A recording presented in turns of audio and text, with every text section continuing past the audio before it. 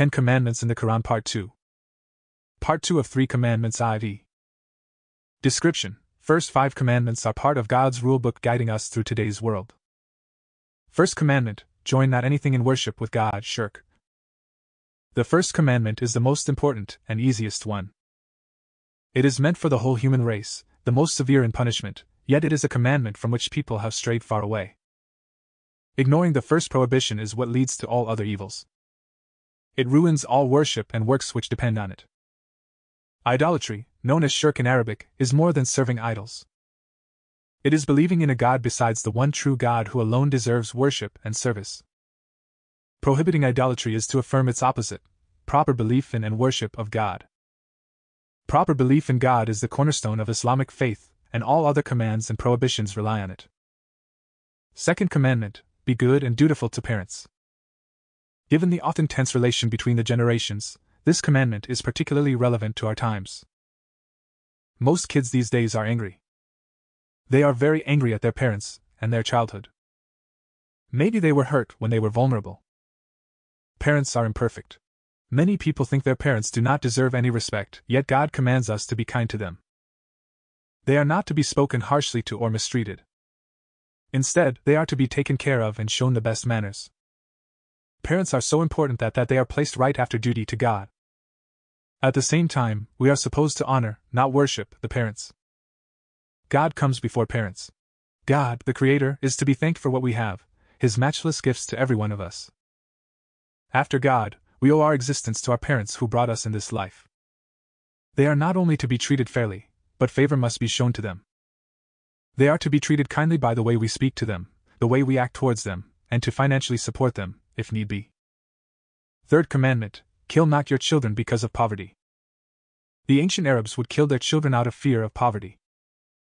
But who would kill their own children who are so susceptible and vulnerable in an age of civilization? Yearly, around 750,000 children are reported missing in the United States, around 2,000 every. Around 100 children are abducted and murdered in the US each. About 100 to 200 children are killed in Britain per. The killers are mostly parents. According to the Society for the Prevention of Infanticide, today, infanticide is still most commonly seen in areas of severe. Fourth commandment Come not near to shameful sins, whether committed openly or secretly. This commandment deals with sexual conduct to protect the family structure. What are shameful sins? Islam teaches that they are adultery, fornication, incest, and homosexuality. Violation of the family unit is a crime against God and humanity. Unfortunately, these sins have become so commonplace that it has altered society's perception of it. In modern times, society has developed new expressions that soften the sin of adultery. Many are too coarse to repeat, but ones that are not include fooling around, sleeping around, flings, and affairs. These phrases create a notion that adultery is guilt free and hurts no one. Some people even suggest that it's just a recreational activity like playing ball or going to the movies. Furthermore, some assert they have a beneficial aspect to them. The truth is that these acts bring God's extreme displeasure. Such sins undermine human society, and laws regulating sexual behavior are part of every viable civilized community. How prevalent is adultery? More than one third of men and one quarter of women admit having had at least one extramarital sexual experience. Samuel Janus and Cynthia Janus, The Janus Report on Sexual Behavior, New York.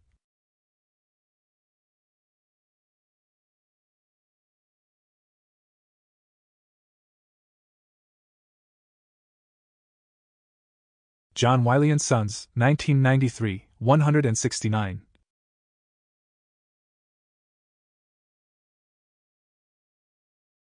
An article in a 1997 issue of Newsweek magazine noted that various surveys suggest that as many as 30% of male Protestant ministers have had sexual relationships with women other than their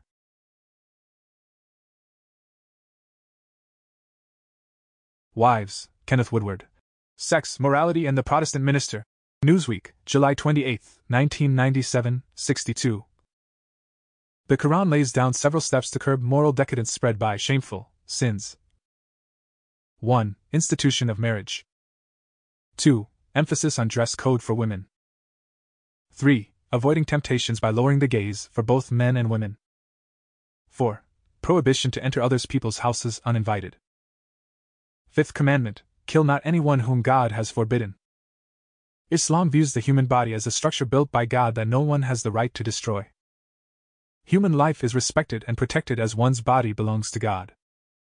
Allah, the Exalted, states On account of his deed, we decreed to the children of Israel that if anyone kills a person unless in retribution for murder or spreading corruption in the land, it is as if he kills all mankind.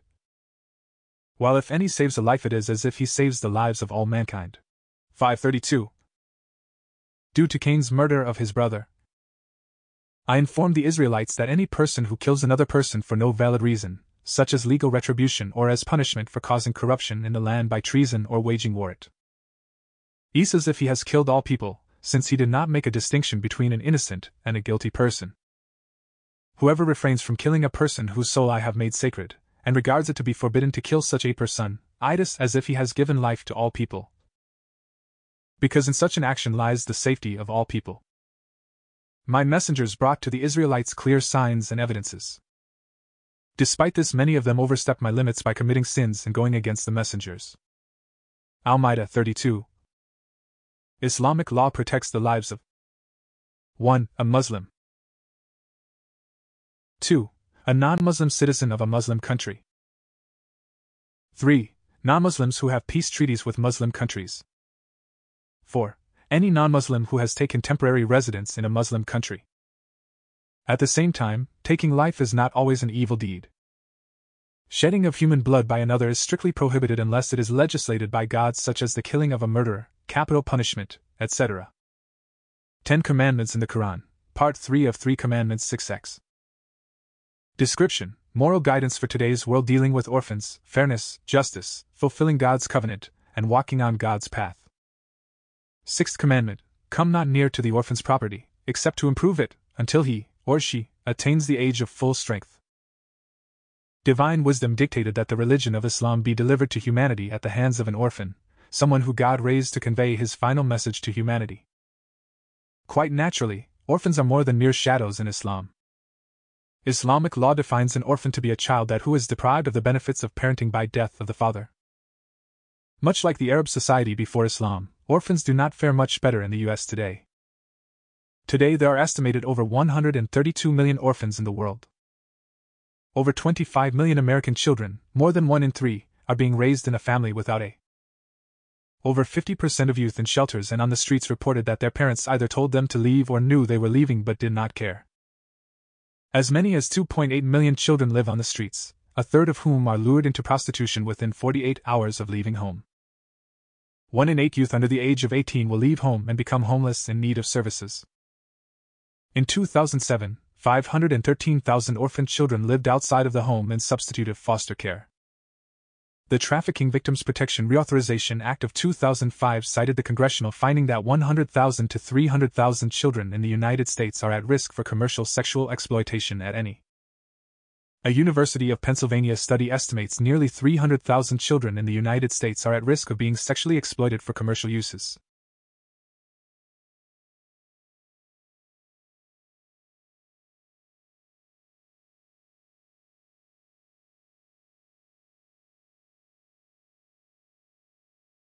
The Trafficking Victims Protection Reauthorization Act of 2005 cited the congressional finding that 100,000 to 300,000 children in the United States are at risk for commercial sexual exploitation at any. A University of Pennsylvania study estimates nearly 300,000 children in the United States are at risk of being sexually exploited for commercial uses. In the US, the word orphan is rarely used.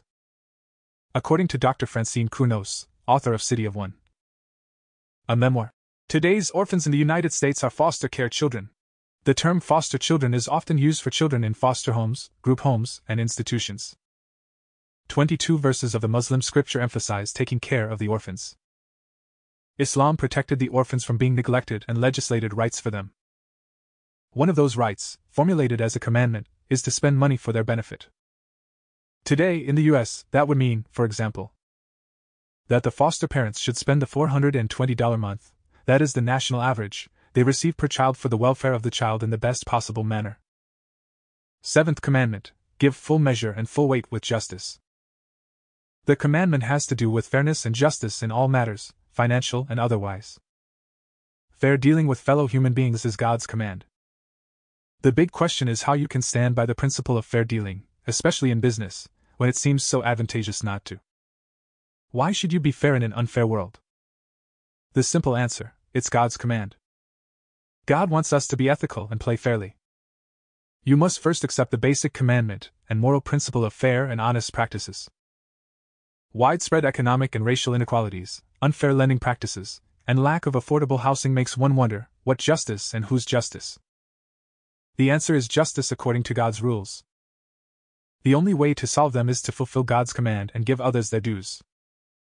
8. Commandment Whenever you speak, say the truth even if a near relative is concerned.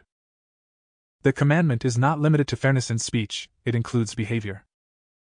God requires us to treat others fairly, including the relatives. If a parent or a friend makes a mistake, should we say that he is in error? Yes, knowing full well that it is not a license to be rude and insulting, but a matter of fairness. In a similar vein, favoritism, cronyism, and nepotism are unethical. Islam commands its followers to be ethical and just in the face of conflicting emotions like love and hatred for the other. A Muslim is required to speak the truth and be honest without getting influenced by the relatives. Ninth Commandment Fulfill the covenant of God. In general, fulfilling covenants and keeping pledges is one of the foundations of Islam. It ensures trust, maintains justice, and brings equality in society. In specific, a Muslim is required to keep his covenant with God. The basic principle of Islam is that God commands and forbids, hence, God is to be obeyed. The covenant of God is the promise made to God that acknowledges this basic principle. As a consequence, God rewards and punishes. A Muslim is supposed to fulfill pledges and keep promises. It is an indication of loyalty to his word and to God. Negligence in this matter indicates hypocrisy. Aptly, God ends with an emphasis. This is what he commands you to do, so that you may bear in mind. So, if you have not already made a promise to God to obey him, then now is the time to do so. Tenth Commandment And indeed, this is my straight path, so follow it, and do not follow other paths, for they will separate you away from his path. This he has ordained for you that you may become pious. The last commandment is the most comprehensive, combining in itself the entire religion. God basically tells us that this is my straight path, you must follow it. The straight path of God is his religion that he sent us through his prophets, completing it with his final message which he sent through Prophet Muhammad. May the mercy and blessings of God be upon him.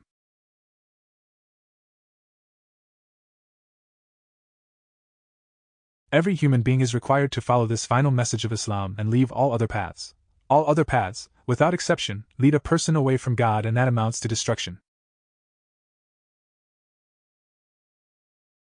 The other paths are ancient religions that have been corrupted or cancelled as well as misleading ideologies and philosophies.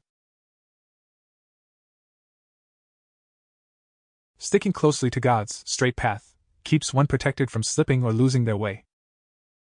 Thus, we conclude the Ten Commandments from God that are relevant and applicable to our times, and provide the best framework to develop the spiritual side of human beings.